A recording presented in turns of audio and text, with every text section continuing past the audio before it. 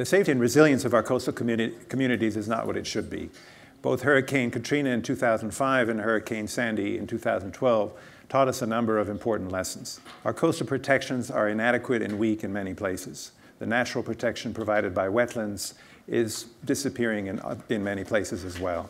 I've tried to apply the lessons of earthquake engineering to this problem by developing designs for urban contexts that include offshore attenuation of wave energy, edge protection that includes both ecological and engineering means, and on-land planning and, and regulation. We've also included in our work the work that Michael Oppenheimer mentioned using global circulation models to develop a host of hurricane tracks that we then use to develop probabilistic estimates of the hurricanes, integrating those with the sea level rise estimate that Michael spoke about, and developing a new generation of coastal flood hazard maps for our designs.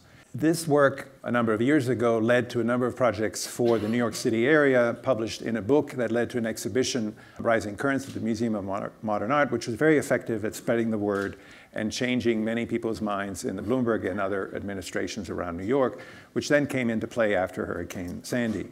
One of the projects that emerged out of that was a project at Princeton called Structures of Coastal Resilience, which brought in three other universities and the Army Corps of Engineers to develop a series of strategies for four coastal communities along the East Coast. Those strategies were based on this principle of marrying good science, advanced science, with design strategies and using those design strategies to frame the science questions. We looked at one of those communities, for example, in Atlantic City called Chelsea Heights, which is located on an old wetland, in fact, on the Back Bay. It was badly damaged during Sandy. It's a low income, vulnerable community that is still suffering from the effects of that hurricane. We developed a series of strategies. My colleague Paul Lewis in the architecture department worked on this, which took the existing conditions, which include a lot of abandoned lots, a lot of abandoned homes, but still enough residents to make a community, and sketched out a series of strategies that led to, we think, ultimate adaptation and resilience of that, of that community. That included raising roads, incorporating utilities in the raised roads, raising houses, developing some of the abandoned lots into wetlands that replaced the wetlands that had been lost when the settlement came here, and including canals as well that would drain the, the community in the event of a flood, but also feed those wetlands. And generally, trying to enhance the quality of life and the economic circumstances for that community through this transformation, through adaptation. You see here a number of different scenarios over time that show how the implementation of these strategies, the edge protection, the wetlands, the canals that feed those wetlands and also drain the, the community in the event of a flood, how those evolve over time and how they would then respond to the changes in sea level rise and the consequences relative to the storms.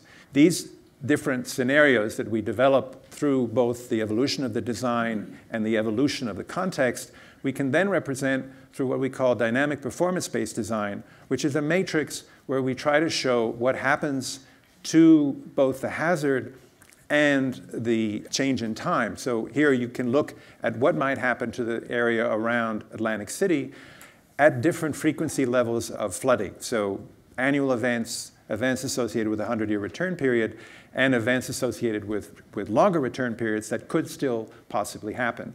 You can then look at snapshots of that evolution of both the implementation of the design and the change in the hazard over time and chart the course of your project as it gets implemented along with the changing hazard. That's why we call it dynamic. You can then zoom in to the community, for example, of Chelsea Heights and look at the consequences of these interventions. We think that this creates a framework which is much broader and more useful in understanding how adaptation can, in fact, occur, how you can take into account the amount of time that it will take for it to be implemented, and also the dynamic nature of the hazard. The boxes there that say no data are areas where we still have a lot of work to do to develop the underlying data for these predictions. All of this is meant to establish a framework. There's a lot of work that needs to be done. There's a lot of design work that needs to be done that includes this principle of absorption offshore, protection on the edge, and also planning on land. In some cases, for the possibility that in extreme events there will be some flooding, but that flooding would be controlled. We hope that in the future we can develop this strategy in, in more places, both on the science side and on the design side, and use them coupled together to frame the questions that we need to address in both cases. Thank you very much.